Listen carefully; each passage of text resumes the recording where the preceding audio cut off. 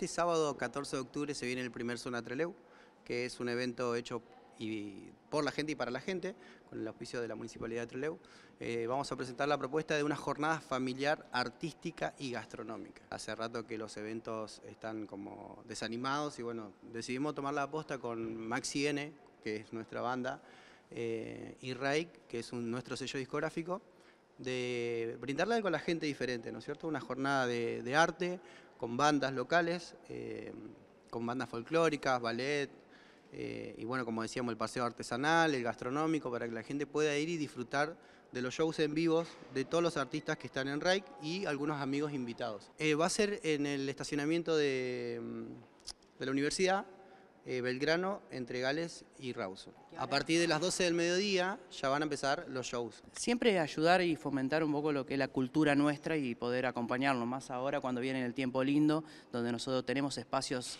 eh, lindos como para poder eh, llevar estos eventos adelante, así que bueno, la idea nuestra es empezar a ayudar a aquellos que quieran y tienen esta iniciativa de estos tipos de eventos. ¿sí?